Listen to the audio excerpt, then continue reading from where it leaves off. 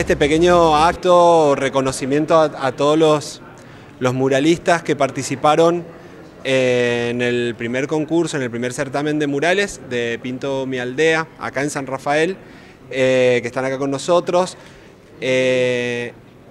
queríamos bueno, presentarles a aquellos que el jurado decidió que estuvieran en los primeros tres premios, primero, segundo y tercer premio, son Laura Iriarte, eh, Keila Negri y Mauricio Ferreira, eh, que están al lado mío. Y bueno, ahí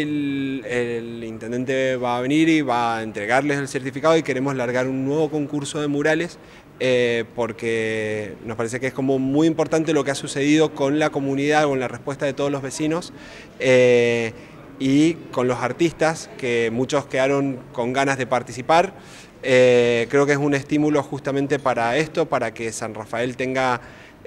una especie de museo a cielo abierto y ellos son los protagonistas, así que bueno, estamos muy contentos de poder estar acá junto a los artistas sanrafaelinos que, que en una actividad que de alguna manera está comenzando en San Rafael y hay que tener como, como mucho incentivo y mucho cuidado también por, por lo que va a suceder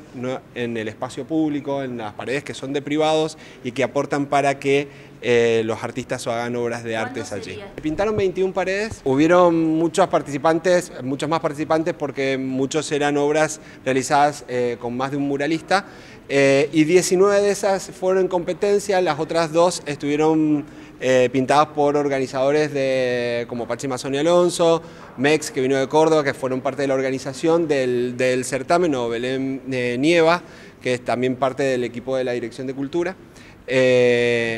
Así que fueron 19 los murales que concursaron y bueno, creo que está la mayoría acá con nosotros. Algunos son de Mendoza y no han podido estar con nosotros, pero también hubo, hubo premios del público para, para muchas de las obras, que fueron aquellas que a través de las redes sociales eh, le dieron más like a algunos, algunas obras y nos pareció que estaba bueno también eh, que se reconociera eso. Hay pinturerías como eh, Sáenz, eh, como Sesma, como Merino, que han hecho aportes eh, para ahora para las menciones especiales y que sean órdenes de compra. Para también, eh, la idea es que desde los privados y en principio desde el Estado podamos estimular esta actividad. esto fue un proyecto que llevó mucho tiempo de trabajo.